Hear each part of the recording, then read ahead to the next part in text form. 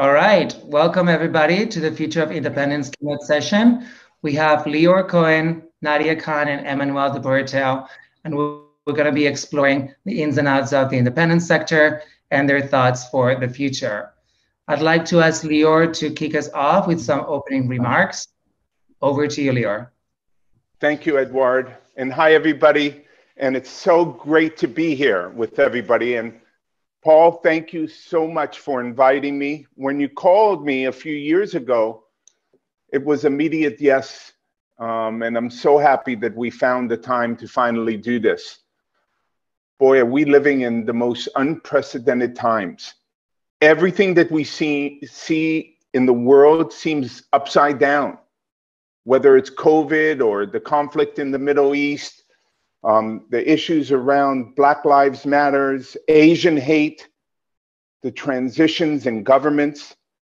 It's pretty amazing to be a citizen of the world and watch what's going on.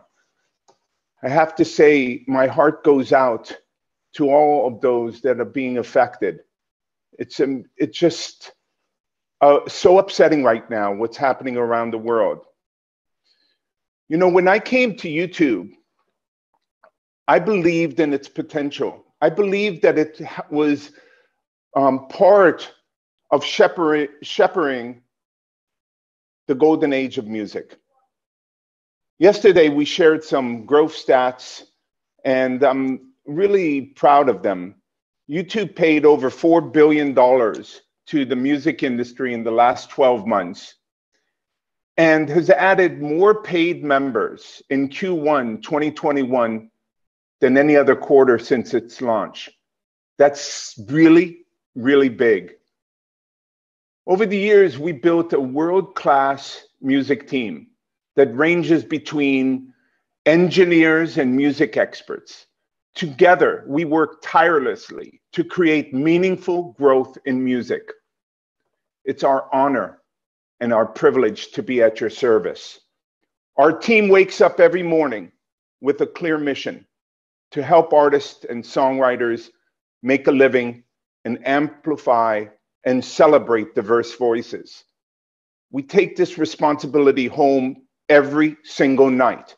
It drives us to work harder, especially alongside you. Like I said, the world is upside down, but we feel that we're actually helping the world be a better place. And that's what inspires us. You know, in fact, June is Pride Month and Black Music Appreciation Month. And when I think about it, the breadth and the quality of the music that's coming into YouTube every day, the diversity amongst artists and songwriters that are coming to YouTube to engage with their fans, it's nothing short of an oh my God. I'm especially excited about the independent community. It's growing faster than ever it's growing faster than ever. It's amplifying voices, minority voices all across the world, and giving everybody a stage. Bravo to you guys. I so appreciate working with you all. It's just amazing to watch. The success of YouTube is really the twin engine growth story. We give users the choice to pay with their attention or their wallets. We believe that our job is to meet the consumer where they are. In fact, last week I was at a roadshow with a label, and one of the executives brought their nine and 11 year old um, to uh, uh, uh, join the meeting because they were um, um, groupies of YouTube. When the kids left, I turned to the record executives and said, they're obviously important consumers. They don't have a job, so they're either riding your um, um, family plan or they're paying with their eyeballs. I can just tell you that we are the fastest growing subscription service out there. We know that those super lean, we know where the super leaned in people that are paying with their eyeballs. We know where they are. That's why AVOD is so important. Not only do we um, advertise to them so we could um, earn our partners, you, money, but we also know when to shepherd them to a subscription service. I love our product and I hope that you use our product. It's the dopest product out there and I hope that you're using it. Of course, there's so many things that we need to get right, but those are two of the most important focused areas that I spend and my team spends an enormous amount of time on.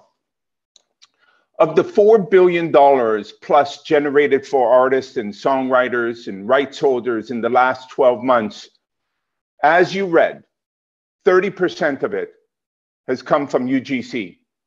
Fan powered videos have always flourished on YouTube, helping artists grow their audiences and break songs all around the world.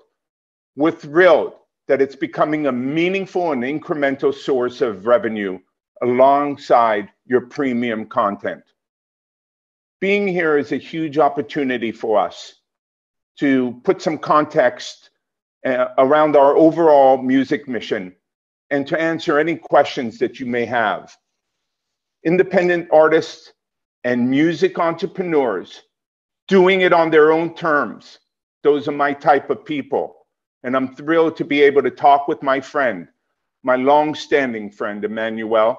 What's up, Emmanuel? And it's great to meet you too, Nadia. Off to you, Edward. Thank you, Lyor, for the intro. Uh, I think I'd love to hear from our other two guests as well. So over to you, Nadia. Like, we'd love to know how did you get started in the music industry, and what can you share with our audience about um, independent entrepreneurship?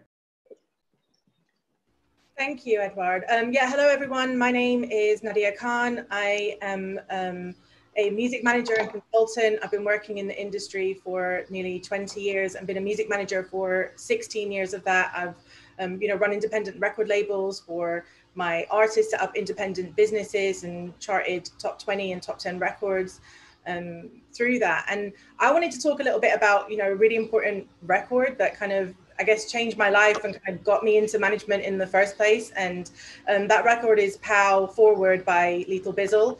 Um, you know, it was around the time uh, in 2004 where there was a new genre kind of bubbling. Uh, grime was kind of coming out. I was working in PR. That's how I kind of broke and got into the industry um, from like a work experience placement and was working in music PR. But I was living in East London at the time, and I heard this song and it just blew me away.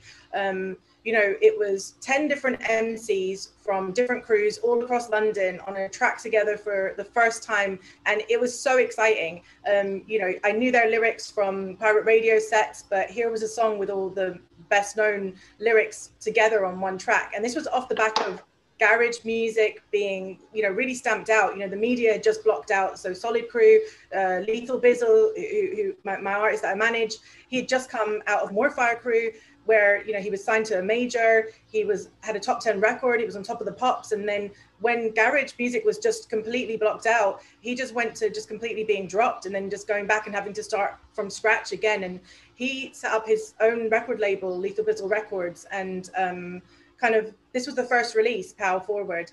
Um, and the energy of this track was just too much. So when i heard it i had to work it. I tracked him down. You know i was living in east london at the time. He's from east london. And i just um, spoke to him and told him i needed to work this record and i needed to work with him. And, and that's kind of how we met and obviously kind of worked together over the last 16 years kind of building independent businesses and, and, and breaking through.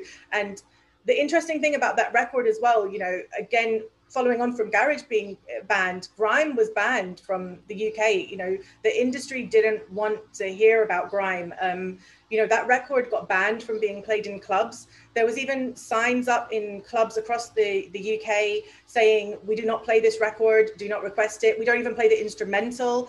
And this was because the energy of the track was was too much, you know, and I was doing press at the time and I was um, kind of, uh, you know, really highlighting the fact that this was just like and mosh pits. It was just like mosh pits, but the energy was just too exciting that people got scared by it. And it subsequently led to him being banned from performing um, across the, the UK, you know. So, but that song couldn't be contained. You know, we ended up charting it number 11 in the Christmas week in 2004. And, you know, that record changed my life. It's what got me into management and it sparked a, like a fire in my belly, you know, like a, a hunger and passion for music. And I've believed in it. I wanted it to be successful and I wanted to fight against the, the no's. And if you look at the guys in the scene that are still around today, uh, you know, like Lethal Bizzle, Skepta, Ghetts, Giggs, Kano, just to name a few of those, you know, they've been doing this for over 10 years and all of them were blocked. All of them were stopped or had shows cancelled at some point in their careers, but they kept going um, until they broke through. And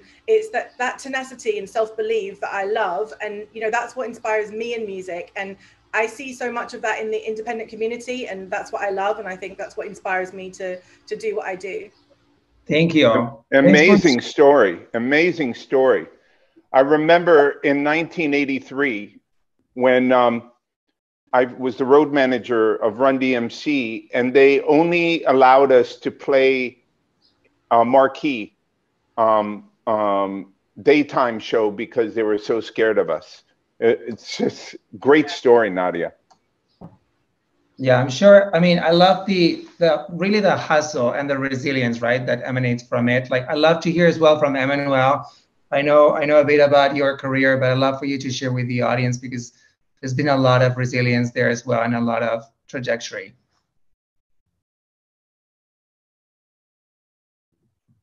Emmanuel, I think you may be on mute. Yeah, the concept of independent for me is, first you have to be independent minded, you know, regarding music. But um, no, I start on very uh, boring way. You know, I was a young kid you know, who was in his engineering school, very bored, you know. And um, so I was booking shows and I was booking very young bands, you know, called U2, Cure, Sade, you know, the Pogues, you know, and uh, music became my passion more and more. But um, but as as I was very nice with my parents, you know, I got accepted to MIT, and so I had to go to to Boston and do my engineering school. And right after, you know, I decided not to not to continue and and to join a very independent company at the time called Virgin. You know, and and I became a publisher. I became the head of Virgin Publishing in France, and I start to sign very original artists. It was the beginning of hip hop in France, you know, and we became very successful on the publishing side. And then I run the record company. And then on the record company, I was very interested by all this new current in Europe, like electronic music and and world music. And so I signed, you know, artists like uh, Daft Punk, Air, Phoenix, you know, Guetta, and Manu Chao. And um, you know, I became the head of Virgin Europe, and I tried to, uh, at the same time as I was working on all the international Anglo-Saxon Virgin uh, priority, I was pushing a lot of uh, international act you know, from Europe, from continental Europe, you know, to, uh, to break worldwide and with quite a good success. But of course, you know, Virgin was independent, but uh, got bought by EMI. So I became the head of EMI Europe and, um, and things start to be more complicated. You know, when you work for an independent, you know, people trust your youth, people trust your, you know, your, your your own decision, you know. Branson was quite cool on that. And um, but when you work for a huge company, you know, you have new goals, you know, you have to deliver album for the budget and not album for the artist. You have to put anti-piracy stickers on a Daft Punk album, and it's very difficult to explain to the artist. So at the end, you know, and the situation was I decided to leave and try to create what I thought will be the model of a music company for tomorrow. And um, I decided to take the name of a Beatles songs because that was the first song that my parents play when I was young. And I listen, it, it, it's because, you know, by, of course, Lennon and McCartney. And, and, um, and uh, it was free, by the way. But I, I so I got the because.com, but I called the company because.tv because image was like my main focus, you know most of my bands, you know, I remember when I did uh, uh, when I released the first track of, of, of Daft Punk at Virgin, it was an instrumental track called Da Funk, and the world was telling me, you know, you should not release an, a, an instrumental track; it will never work, you know. But we managed to convince Spike Jonze to do this crazy uh, video with the dog, you know, and uh, and the song became a, a hit, even though there was no lyrics on it, you know. So I was very, uh, very into image. And of course, YouTube, you know, start and it was the logical uh, move for us to um, to try to experiment and work with YouTube a lot. You know, so uh, our company is is 100% independent today. Is direct to uh, to DS to DSP. I try to be a technological artisan, what I call. So I don't want to sign a lot of artists. I want to sign a few artists and focus and being a total expert on all the fields. So my company today is able to produce a show. You know, we have four, pro, four, four, four a production company to do live shows. We have a very strong publishing company. We publish from My Way to Daft Punk. Uh, and we have a, a, strong record company. You know, we sign on because uh, Christine and the Queen, Major Lazer, reached 3 billion streams last week, you know, on YouTube. And, uh, and, and of course, some artists join me, uh, like Manu Chao or Pedro with his label banger. So it's a very exciting uh, little bubble. You know, you have some hits in there. I think Daft Punk is ranking almost at 5 million subscribers. And as you said, Major Lazer joined the billion club a long time ago and is now leading with, with, with 3 billion. I yeah. think it's. And, and we just have office in, in a few territories. So we develop the way we work, you know, in England, where we signed Metronomy and now Shygirl to the States, you know, so we, we are trying to be a worldwide. Very cool. Very cool. Thanks uh, for sharing that. I think it's important. Edward, yeah. I would like I would like to ask Emmanuel. Emmanuel, when you're deciding to leave and start your own company, that must have been a really difficult decision, or mm-hmm. maybe an easier easy decision. But I know that you're one of the um, you're like a music royalty, and people really loved your work and you're breaking artists left and right. And I'm sure that they were going to pay you a, a, a ton of money to stay. How did you have the courage to leave and do your own thing? That's I'm curious about that, and I'm sure all the audience wants to know where did you get the courage to do it on your own? know, I will return the question because you know when you left Warner, you created 300. You know how you got the courage to you know after being the boss of Warner Worldwide to create 300. But you know, you know, I, it was it was easy at the stage. It was easy at the stage because when I when I when I joined Virgin, you know, after being the head of publishing, you know, he, he let me build my own publishing company with EMI you know, at the time. And uh, and I, and when I left, I sold it, so I had enough money in my plan to finance my own company without any pressure from the bank, any pressure from anyone, any deals to do with a major. You know, I had full freedom to uh, deliver the the vision I had at the time. So I was not brave. I think it was the logic. It took me three months to start it after I left EMI. So answer I, me on 300. I, I, I relish in the friction. You know, people have this saying, if everything's working, don't fix it. When things are working, that's when I get nervous. I try to fix it then. Because if you try to fix it when it's not working, it's too late so I actually thrive in the friction. Um, I feel the most comfortable um, when things are um, on the edge or close to the edge. I like putting things on the line. I like um, taking risks. It's not for everybody. Um, that's one of the things that I want to be, you know, communicate. Um, being in the music industry is really hard. We have all these images of uh, people living la vida loca and um, um, how wonderful, you know, uh, um, um, this business is. Um, but you really do have to have passion because there's so many lean times, scary times where no one's picking up the phone and um, you just have to look yourself in the mirror and believe that you're really good and you continue to um, um, love the music business. Because at the end of the day, You may have no friends or associates, but you have the music and you have your artists and you have the dedication that it takes for you to keep moving. You know, I've had um, many times um, situations that I was down and out and saved by records. Like I can remember I signed one bad act after another. I was on a streak of every single bad act I signed. Remember the afros and the family and all of that? One bad act after another. And I believe every act that I sign, I believe that um, they're going to change the world and alter my life. And um, so it's hard to accept.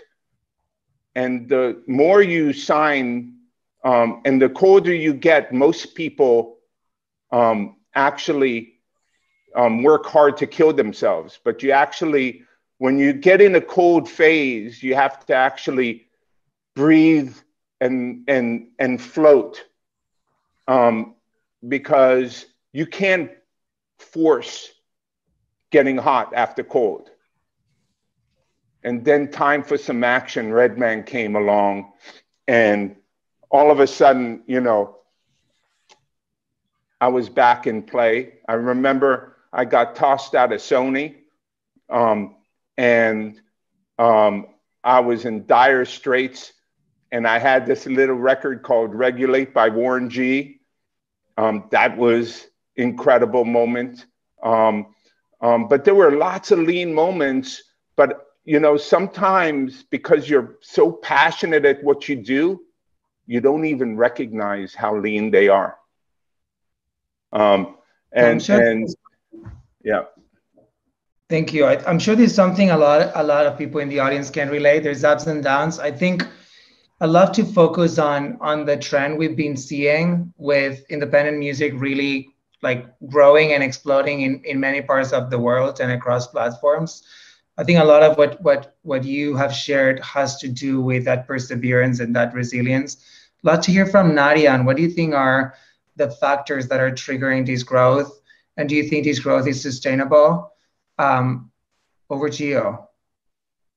Cool, thank you. Great stories. Uh, great to hear your story, Lyor and Emmanuel as well. Loving it. Um, yeah, I think you know we have to think about how we release music has kind of changed dramatically over the last five to six years. You know, um, in some ways, we really had to think, rethink everything from scratch of like how we build campaigns with the kind of advent of streaming. I remember being in, in one of the majors when streaming had just kind of been introduced, and asking around the building and everyone was just like we don't know what to do. We're having to relearn everything of our whole strategy of how we release kind of records. And you know you're looking at the number of records that are getting released daily you know you're in tens of thousands that are getting uploaded daily. Um, so that growth has come from you know the accessibility to distribution platforms and more and more diy releases and everyone and anyone can upload music um, but I think the challenges that uh, new business entrepreneurs nowadays are facing is like how to stand out and be heard in a competitive market. And it's kind of different to how when I started out, you know, it was more about those gatekeepers kind of having to break through that. But now everyone uh, can do it. So the kind of challenges have kind of flipped. Um, and I know a lot of people are like exploring, you know, new dynamic business models um, and actually looking at maybe membership and subscription models like Patreon, for an example, or direct to fan uh, sales driven models, live streaming, building their own mini sites. And I think also interestingly, like going back to physical products, you know, introducing vinyl and uh, and CDs and, and cassettes and kind of making a more unique kind of special experience with fans. Um, and I also think another big challenge um, for kind of uh, independent businesses now is kind of growing sustainable independent businesses um, uh, and, and making money in this current market. Um, so it's all about like tapping into those additional income streams and really diversifying like the ways in which you release music. And um, I think, you know, we've adapted and changed so much and we'll continue to adapt and evolve over the years. But I think the future is really exciting. There's lots of new technology coming through. I think new technology will, will keep coming through and will keep changing how we interact with fans and how we sell music and merch and, and tickets. And one other thing I wanted to say was also that, you know, I think that um, Lyor touched on it at the beginning was that you know, lockdown and, and COVID, has, has, we've all been through a really, really tough period over the last year and a half. And I think it's really shown how resilient and adaptable the independent community are. Uh, I've seen so many adapt and thrive in these really difficult circumstances. So, you know, that gives me a hope and, and reassurance that definitely, you know, we're going to sustain it for the future for sure. Nadia, I want I want to comment. Sorry, Edward. Um, I really can't stand a record company when an act comes in, and the first question they ask is, "How many followers you have?" Um, I want to say the best way of cutting through the clutter is having the dopest music out there. And you know, there's too too much focus on the um, go to market, and I think less focus on um, incredible music, um, um music that just changes the world and makes you say, "Oh my God!" and then all of a sudden people are passing and sharing it. Emmanuel has been a, a huge part of that. He focuses on the music and getting the music right, and I think that's really one of the things that I want to encourage all the um, people listening is the lost art is artist development and A&R okay you have you have incredible music and you um, have an artist that understands the development process and can collaborate with passionate people like Nadia. Nadia, you'll find if you found um, the next uh, Tupac and he didn't have one follower, you would find him a market. And I think artists are confused like, should I be a social media person or should I be a musician? And I encourage um, um, um, musicianship and the truth over um, social media um, bullshit. I, I what do you make of that, Emmanuel? Yeah, I can add something. On, you know, I think the DSP, you know, and and and YouTube was a, a, main actor to help a lot by coming. They were media also, you know. They will not accept to be a media, but they will be a media. You know, the the the, the world in music was quite mature when the DSP came, and uh, radio were playing a certain kind of music, but there was a lot of music which was not played. You know, they had no access you know, I want to talk, for example, about hip hop in Europe. You know, hip hop in Europe was very, very lightly played. You know, you got in France, we got lucky because we got a big uh, radio, uh, hip hop radio called Skyrock. But but in most of European territories, hip hop was a second genre. Was like a B like B movies. You know, nobody cares.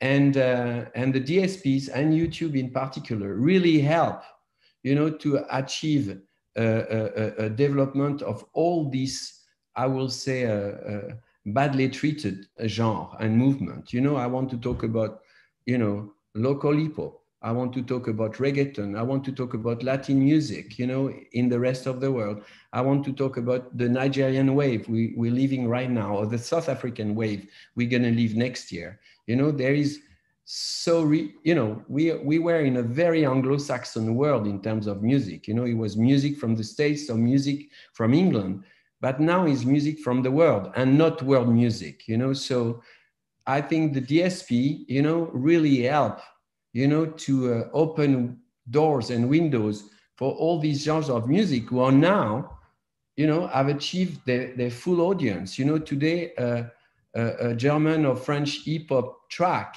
can do 300 million streams in his own territory. You know, it's six or seven times more than any international artist, you know, and some, and now some of these hip hop act, you know, from the UK or from, of, of, of from uh, uh, uh, uh, Algeria or Morocco start to export all over the world and be listened by a huge worldwide community. And I think it's, uh, I think it's very positive. I think it's very good for for the world, and uh, and I think it has been very important, you know, to to have this DSP at this time, you know, to, to have people much more open to music. The millennium generation doesn't care about, you know, genre. They care about music. You know, they can listen to a, a, a, a kind of a Jorja Smith track and then listen to an Electro Logic 1000 and then listen to a, a, a Ocean track. You know, there is no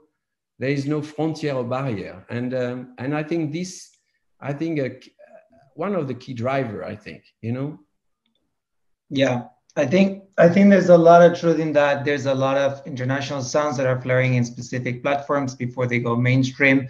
I think Nadia mentioned um, um, a few uh, um, a few memories from from early days uh, with the grime community, and I think there's a lot in that as well. Like if you care to elaborate on the role platforms played and like how video, I, I think was crucial. I was working in the UK at the moment, and I remember like grime artists were releasing video before they were releasing songs, making their distribution partners go crazy sometimes. So I'd love to hear some stories for the audience. Yeah, sure. No, I think, you know, it was, you know, the growth of like accessible technology. And, you know, that's where I saw uh, Lethal Bizzle's Forward. I saw it on Channel U. I saw the video first. And that, you know, that's how they were promoting their music at the time because there wasn't many outlets or there wasn't any outlets. You could count on, you know, your, your, your fingers. And then I think, you know, the advent of YouTube and cheaper technology allowing everyone and anyone to be able to become a content content creator and as we went on you know smartphones everyone has that technology now in their hands and um, what was really exciting was everyone was making their their own videos up, uploading them getting them out there and this really kind of built the scene and it was very visually led. Um, and that was when the platforms that are huge now like grm daily link up tv sbtv you know that's when they kind of set up their youtube channels and that was a really exciting and pivotal moment. And that's when things started to change in um, the industry and definitely the direction for black music within the UK music industry because the fans now were in charge and they could decide what they wanted to watch. They could decide what was hot. Um, so that was really powerful for genres like grime and drill, which have been kind of, you know, gone through being banned in the industry as well. And, you know, I think that was a game changer. And, um, you know, not having support on radio, we don't need it. You know, we can we can get the views and we can get out to fans directly. So, um, like uh, Lyor said as well, you know, it frustrates me and so many in the community with um, just you know how uh, labels and A&R sign music now. They want you to do all the uh, groundwork, you know, yourself, and they look to those platforms and kind of see who's already popping and who's already getting those those views. You have to kind of build that hype up um, yourself. And it, it, you're right; it shouldn't be about those um, those numbers. There should be just that real passion to kind of find um, key talent. But obviously, there's an incredible breadth of amazing boutique and uh, independent labels that are really passionate about specific genres and go out and, and, and find them. So yeah, that's been a, a, real incredible journey for me to see. Very cool. Anything to add from the platform side, Lyor? Like how are independent artists making it on YouTube? How are we leaning on the platform? How are they leaning on the products? So independent artists independent labels are exploding on the platform. Their CAGR is the highest growth of any category. Um, and the thing that makes me the most excited about it is the fact that leadership is starting to see this trend and build them much better products that help them remain independent, thrive independent, grow independent. Um, and uh, maybe you could tell them about some of the new products that we're building, um, Edouard. Well, I'd love to hear as well from the rest, but I think um, you know it's there's definitely been uh, a jump from from having artists dial into YouTube and upload content the same way non-music creators were to really creating this official artist channel format that aggregates the presence of, of an artist on the platform. Artists can see their analytics, they can understand how their music is being used in user content. They can see how um, their official music videos are doing. They can understand how curator channels like the ones Nadia was mentioning, Link Up TV, Jamal's SBTV, how are they featuring their content and how that's um, having an impact on their official views. So I think there's definitely a lot of um, artist-facing products that we've rolled out in the last in the last five years. And then look, there's also admin on YouTube, right? There's like content ID, there's delivery of audio for YouTube music, and we understand that artists want optionality. In fact, we're we're rolling out preferred distribution program to make sure that people partner with the right distributors and that um, we put all the right checks in place um, to elevate the good actors and to make sure we're fostering a healthy ecosystem. But there's, yeah, there's definitely a lot of investment on products that are that are targeted to the artists. I think there's um, there's been a, a whole lot of innovation. It's it's making it hard to follow. I'm sure. Emmanuel, I don't know if you have some some experiences from dealing with some of these products and and running campaigns on the platform with the I, artists. I, I can talk about some frustration that the independents have right now. You know, the, the, some of the frustration the independent have right now is with all the DSPs, and then I'll come back to YouTube. But the little frustration that all the independent have is that they create this uh, with the DSP or the social network. They create this uh, fan base, you know, and uh, and uh, and uh, these fan base grow, but when they want to use it. You know, either they have to pay for it, either they lose a part of it, they have no control for it. I think YouTube is interesting for, for that with community because there is not these kind of bargaining tools than other you know big platform have you know it's much more it's free you know so you don't have to pay to reach your audience but i think it's important that uh, youtube uh, uh, uh, uh you know stay a leader in that. You know, I think it's it's not acceptable that you have to pay to reach your audience. You know, I think it's it's a partnership between the artist, the indie, indie label, and the platform. And I think community is much better tool. And um, I will say, if I have to give an advice to YouTube, there should be more ergonomy for independent label for understand more, even doing macros for them to read the analytics better I know it's a difficult process and you already deliver a lot of information, but improving this macro, it's very important. And I want to come back also on another point is, you know, as I describe, you know, a lot of genre, you know, I've, I've, I've been exploding and mature because of, of YouTube, but YouTube has to keep the fact that they have to help all the genre, you know, the, the I will call it the exponentialization of the audience, you know, through the algorithm, have a chance to put the, the fan into a bubble where the diversity is difficult to reach. They should be able to go somewhere else without, be, without being guided, you know? And I, um, I agree. That was my you. that was my little question to uh, my little difficult question to my friend Lyor. He say, "How?" I'm happy to answer it. I'm happy to answer. How can the YouTube algorithm can preserve diversity. You know, diversity is almost in the DNA of, of all independence, you know, and, and how can also uh, uh, avoid the bubble phenomenon. You know, you don't want to listen to what you like, you want to discover, you know, and I think we need filters, we need more filters. Music is changing the millennium like everything, we need filters. And, um, you know, we have things like colors, for example, which is a good example on YouTube but um, but um, yeah. I'm very passionate about this, Emmanuel. I'm as passionate about this as you are. And here's how I describe it to the engineers and the people who um, control the algorithm.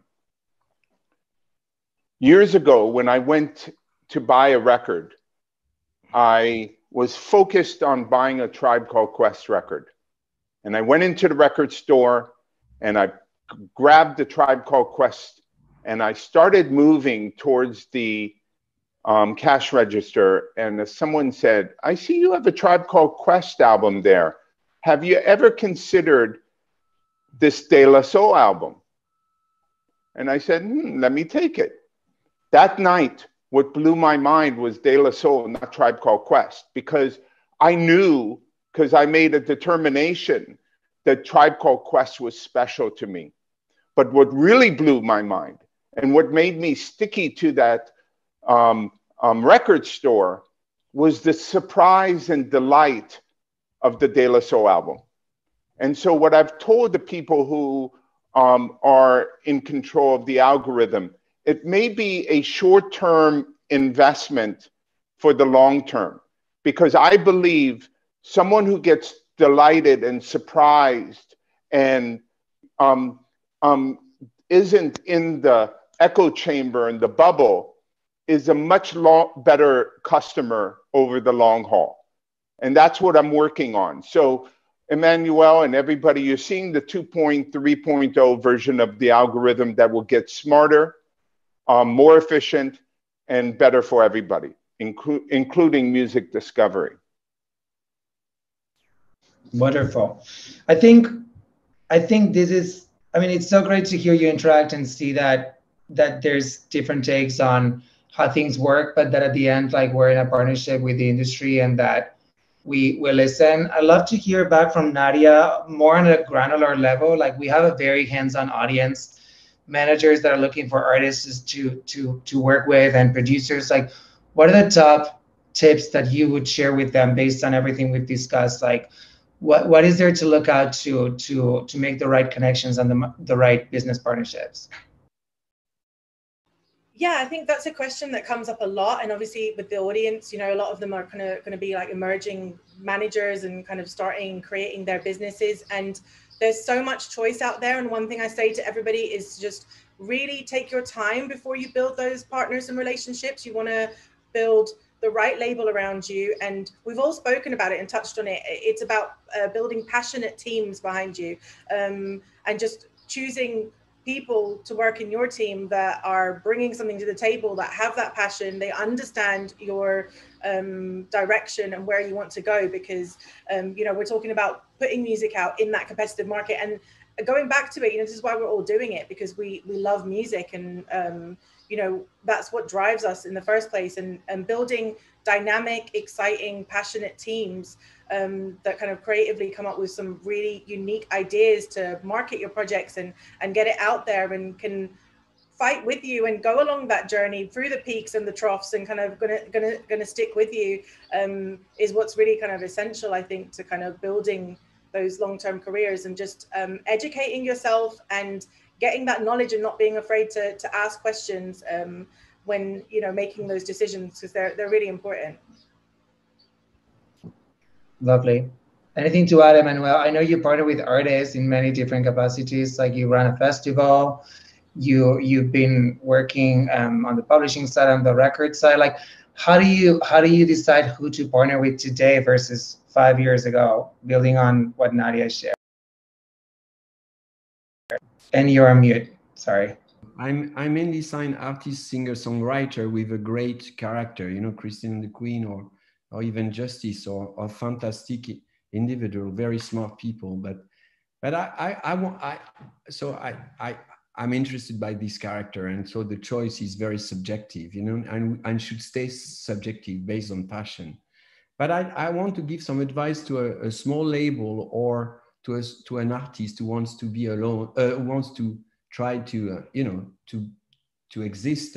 you know, it's very difficult today. You have a, a lot of choice. You have plenty of options you didn't have before, but you are in a in an ocean of millions of track. And today, the very important thing is is the attention. You know, so so it's why I, I call because a technological artisan because you know today the time the planning you know it's very important. Everything is immediate. Your reaction you need to have all the information system to be able to react quickly you know? And uh, and so it's a kind of a global team global mind and it's like it's why i like small teams like commando teams. So for any deal it's important but you have to choose you know? If you go to tunecore or if you go to a, a, a, a an aggregator or if you go to a to a, an artist service, so if you go to a label like Beggars or Domino, or if you go to a to a major label, it's a choice. But you know, as as a, as Nadia said, you know, you need to have the team. You know, you need to have a team of expertise, and you need to create around you a team of expertise. You know, you can use all kind of option but at the end it, sh- it, should be a team of expertise and the common denominator of all this team is to be passionate about your music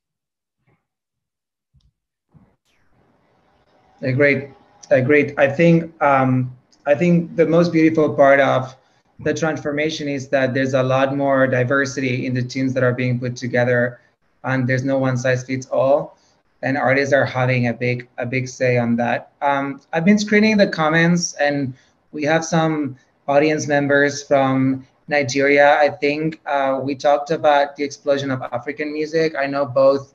Uh, in fact, all of you are very close to to Africa as a as a continent. So I love I love to go back to that and try and better understand what's happening. How can we learn from it? And like, what are the tips we give to artists, producers, and music makers in the continent?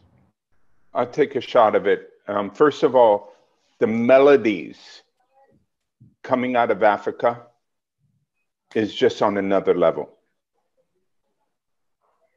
Just on another level. Here's the problem the problem is that the artists um, work so hard to become popular, and they became popular in Africa, primarily West Africa, that, and they've invested so much effort in that, that when it's time to go outside of Africa, where they aren't known, and they go from playing many thousands of people to building from scratch, they don't want to make the investment.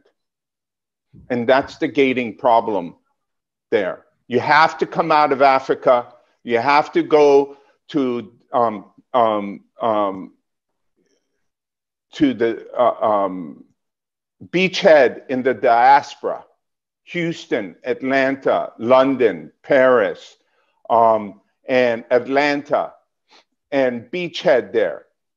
Um, look at the Koreans. The Koreans weren't satisfied with being big in Korea. They wanted to conquer globally.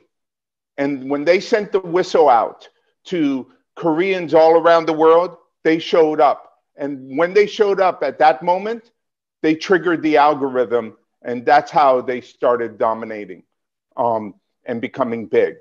So, my suggestion is come out of Africa and invest in your career outside of Africa. Anything to add there, Emmanuel, Nadia?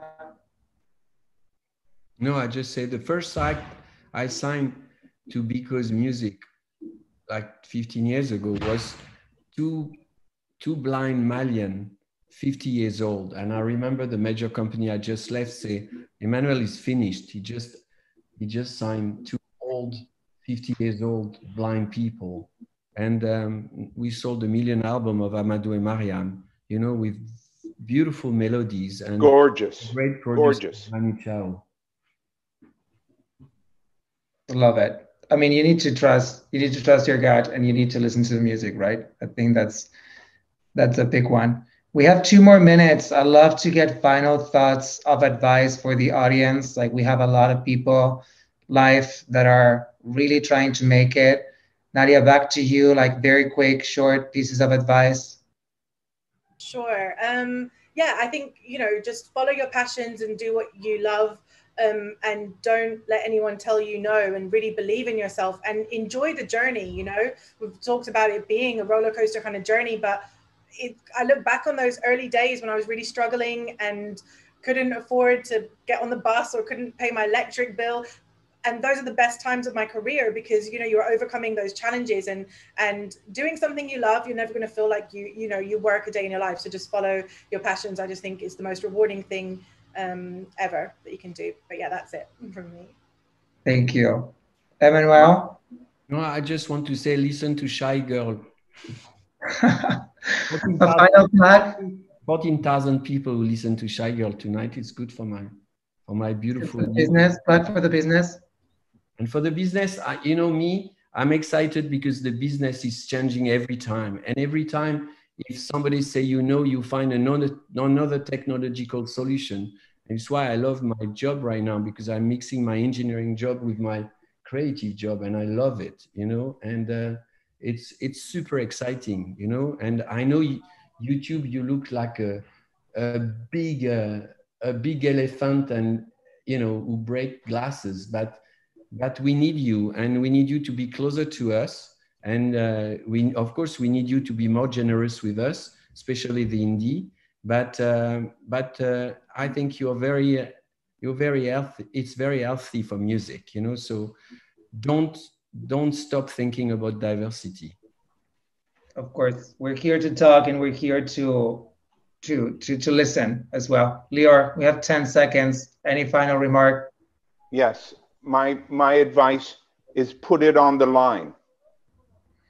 Just rip the rear view mirror off and throw it out the window. The worst thing that you could do is coulda woulda shoulda. Put it on the line like nadia said have fun with it um, and I do want to say I'm humbled to be able to do this with you, Nadia, and Emmanuel. Music royalty, you guys are amazing. And uh, Edouard, thank you for um, keeping the drumbeat of the independence alive. And let's go get it. Thank you, everyone. Thank you, everybody, for listening. And I think we got a bit of everything. Uh, time to wrap